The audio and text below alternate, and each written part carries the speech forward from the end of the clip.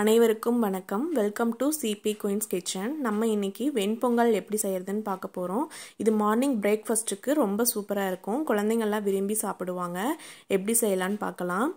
தேவையான பொருட்கள். நெய். நான் வீட்டில் காய்ச்சின நெய் தான் எடுத்திருக்கேன். ஒரு டம்ளர் பச்சரிசி எடுத்திருக்கேன். ஒரு எந்த டம்ளரில் எடுக்கிறோமோ அதே டம்ளரில் அரை டம்ளர் பாசி பருப்பு எடுத்திருக்கேன். தேவையான அளவு உப்பு. கருகாப்பில் ரெண்டு மூணு கொத்து எடுத்திருக்கேன். வரமிளகாய் மூணு மிளகாய் எடுத்திருக்கேன். காஞ்ச மிளகாய் ஒரு ஸ்பூன் சீரகம் ஒரு ஸ்பூன் மிளகு கொஞ்சம் முந்திரி பருப்பு எடுத்திருக்கேன். எப்படி செய்யலான்னு பார்க்கலாம். இப்போ ஒரு பாத்திரத்தில் நம்ம எடுத்து வச்சுருக்க ஒரு டம்ளர் அரிசி அரை டம்ளர் பருப்பையும் சேர்த்து மூழ்கிற அளவுக்கு தண்ணி ஊற்றி ரெண்டு மூணு தடவை நல்லா கல்நீர் பிடிச்சி எடுத்துட்டு அதை வந்து நம்ம ஊற வச்சிடலாம் இது அப்படியே ஒரு அரை மணி நேரம் ஊறணும்.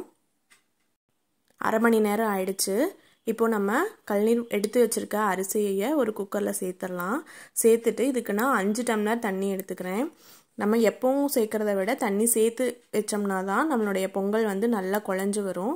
அதனால் நான் அஞ்சு டம்ளர் தண்ணி எடுத்துகிட்டு தேவையான அளவு உப்பு சேர்த்துட்டேன்.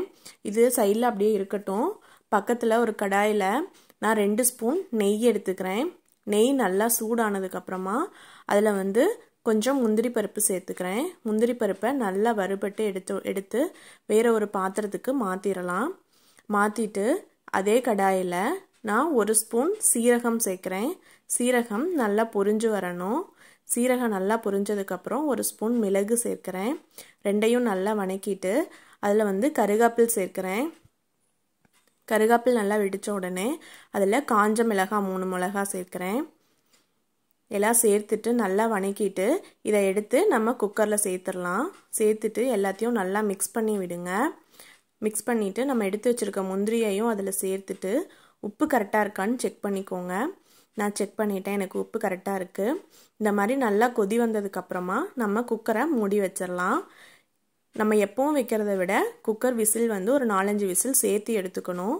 நான் வந்து எட்டு விசில் வச்சு எடுத்துட்டேன். அப்போ தான் நம்மளுடைய பொங்கல் வந்து நல்லா குழஞ்சி வரும். எட்டு விசில் போனதுக்கப்புறம் விசில் அடங்கிடுச்சு இப்போ நம்ம இதை ஓப்பன் பண்ணி பார்க்கலாம். பாருங்கள் எவ்வளோ சூப்பராக நம்மளுடைய வெண்பொங்கல் நல்லா குழஞ்சி வந்திருக்குன்னு. இதில் நான் ஒரு ரெண்டு ஸ்பூன் நெய் சேர்க்குறேன். கடைசியாக நம்ம நெய் சேர்க்குறனால பொங்கலில் வந்து நல்லா நெய் வாசத்தோட சூப்பராக இருக்கும். நீங்களும் வீட்டில் ட்ரை பண்ணி பாருங்கள் நல்லா இருந்ததுன்னா நம்மளுடைய சேனலை சப்ஸ்கிரைப் பண்ணுங்கள் லைக் பண்ணுங்கள் ஷேர் பண்ணுங்கள் தேங்க்யூ